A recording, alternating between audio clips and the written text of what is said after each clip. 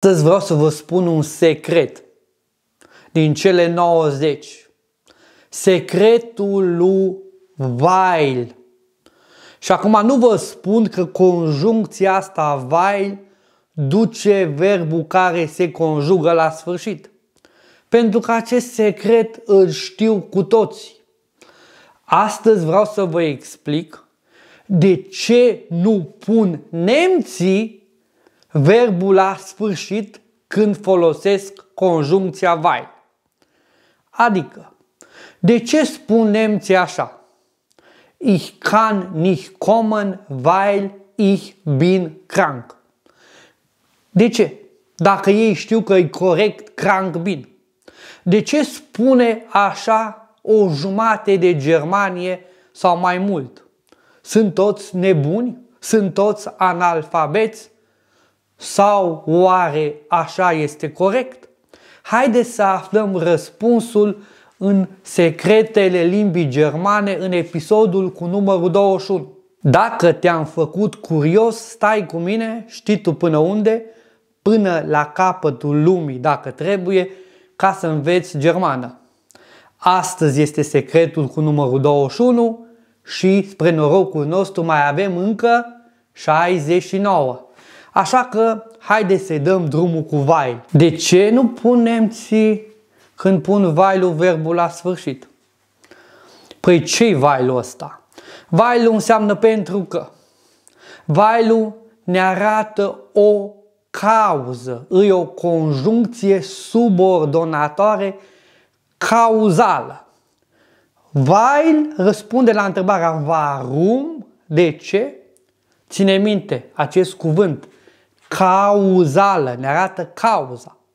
Da, weil e sinonim cu den, weil e sinonim cu da, astăzi nu vorbim despre astea. Deși am putea spune că lumea confundă pe weil cu den, că înseamnă cam același lucru și nu, la den, la pentru că ăsta, nu trebuie să mergem cu verbul la sfârșit. Pentru că den îi ca și und. Adică pot să spun Ich kann nicht kommen, denn ich bin krank. Da, se poate spune așa. Și îi egalul lui Vailu, dar nu ăsta e răspunsul.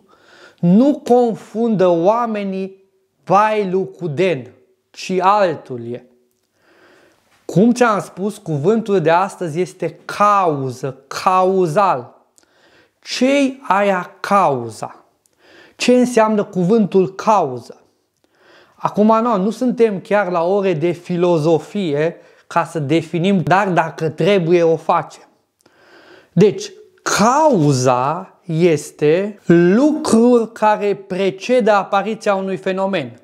Se întâmplă niște lucruri și apare un fenomen.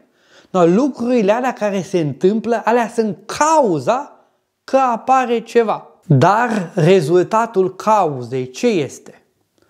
Consecința. Consecința e rezultatul cauzei. Și acum asta trebuie tu să înțelegi, că neamțul are în capul lui o luptă între cauză și consecință. De asta nu pune cu weil verbul la sfârșit. Ca să-ți dau un exemplu. Es hat geregnet, a plouat, weil die Straße nass ist, pentru că strada e udă. Ce sens are propoziția asta așa? A plouat, cauza e că strada iudă. Nu. Neamțul în capul lui spune a plouat, în consecința, consecința îi că strada e udă. Și uite ce bine sună propoziția Es hat geregnet, weil die Straße ist nass.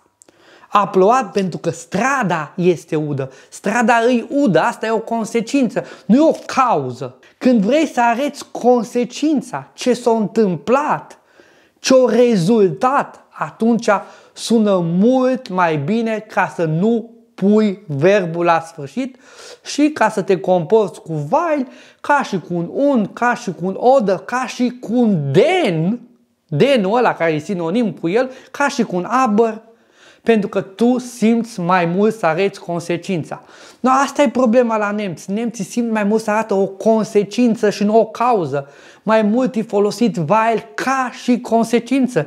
Ich kann nicht kommen, weil ich consecință bin krank. Asta e consecința. Ei nu simt să arete cauza. N-au cum să ducă verbul la sfârșit. Oricum, până la 1500, nici nu mergeai cu vai la sfârșit. De fapt, vailul vine din cuvântul divaile, adică perioada. Adică lumea spunea, ich kann nicht kommen, eine Weile bin ich krank. Eine Weile s-a transformat în Weil. Doar că nu, dintr-o dată s-a dus verbul la sfârșit. Haideți să fim serioși.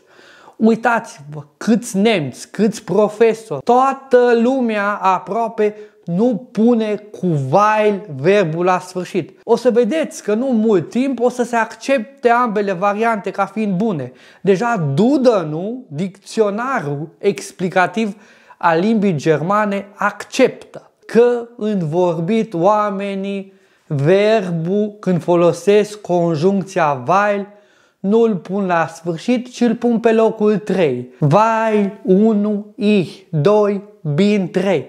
Se acceptă, nu este de ales. Toată lumea vorbește așa. Așa că și tu, dacă vorbești așa, și și tu, dacă nu pui cu conjuncția weil verbul la sfârșit, nu e așa de mare greșeală. Și mai ales când vorbești, tu par neamț, tu par de pe acolo, tu știi că așa se vorbește.